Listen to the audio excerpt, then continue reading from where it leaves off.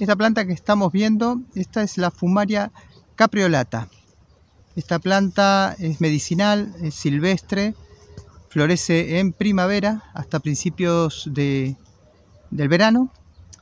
Eh, esta planta nos ofrece propiedades depurativas y diuréticas.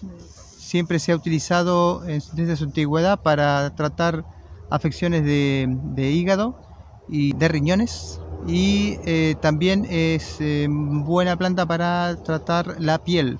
Es una planta con efectos emolientes, lo cual es buena para eh, tratar granos, forúnculos, abscesos y otras afecciones de la piel. Utiliza toda la planta, tallo, hojas y flores y cuando está en floración es momento de cosechar. Así que bueno, la vamos a cosechar y la vamos a secar, utilizar en infusiones o en cataplasmos también. Así que otra planta para recomendar y para estar atentos si la vemos en el jardín. Gracias, nos estamos viendo.